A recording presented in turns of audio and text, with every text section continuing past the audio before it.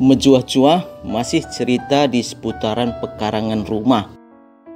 Kali ini kita mau menjenguk tanaman tabar-tabar atau tawar-tawar atau si tawar, si tabar atau penceng tawar.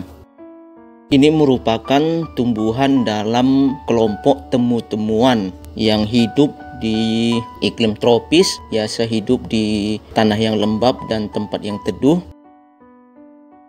tumbuh secara liar ataupun dikembangbiakkan baik untuk sekedar tanaman hias atau juga untuk obat-obatan.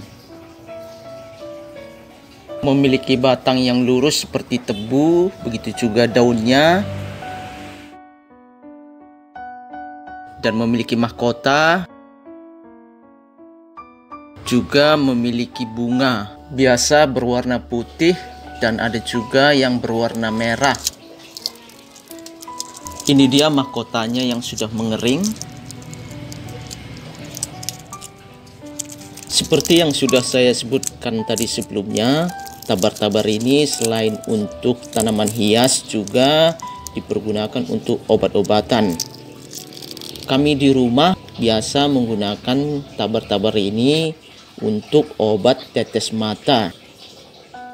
Airnya yang dingin jika diteteskan ke mata terasa segar sangat efektif untuk mengobati iritasi pada mata.